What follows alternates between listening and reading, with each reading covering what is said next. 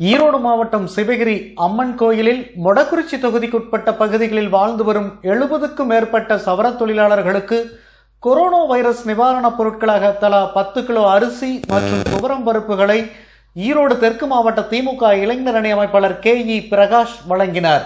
இந்த நிகழ்ச்சியில் சிவகிரி பேரூர் திமுக செயலாளர் கோபால் ஈரோடு மாவட்ட முன்னாள் இளைஞர் அணி துணை அமைப்பாளர் அரசு கொடுமுடி ஒன்றிய முன்னாள் செயலாளர் கதிர்வேல் மாவட்ட இளைஞர் அணி துணை அமைப்பாளர் அந்தியூர் பரமசிவம் சிவகிரி இளைஞர் அணி துணை அமைப்பாளர் செந்தில் ரகுநாதன் கொடுமுடி ஒன்றிய துணை செயலாளர் பாபுராஜா ஈரோடு சூரம்பட்டி வீரபஞ்சத்திரம் இளைஞர் அணி மற்றும் மாணவர் அணி நிர்வாகிகள் பார்த்திபன் உட்பட பலர் கலந்து கொண்டனர்.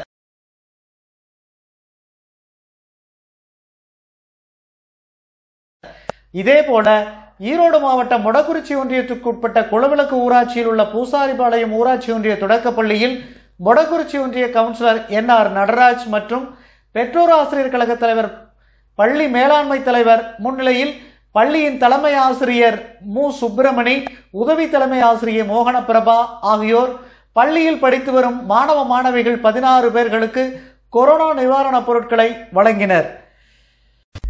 ஈரோடு மாவட்டம் சிவகிரியில் கொரோனா வைரஸ் குறித்த விழிப்புணர்வை மக்களிடம் கொண்டு செல்வதற்காக சாலை ஓவியத்தை வரைந்துள்ளார். அந்த ஊரின் தனியார் பள்ளியொன்றில் பணிபுரிந்து வரும் ஓவிய ஆசிரியர் செந்தில்நாதன்.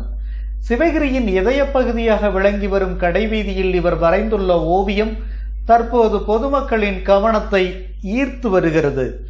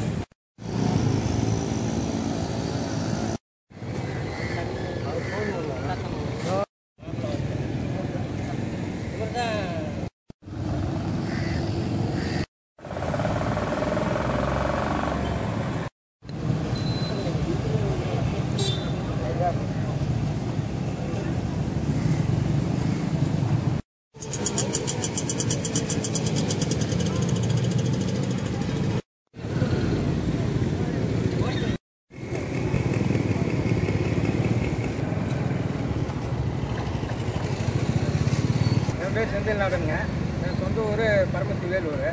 நான் டிராயிங் முடிச்சு முப்பது வருஷம் ஆயிடுச்சுங்க.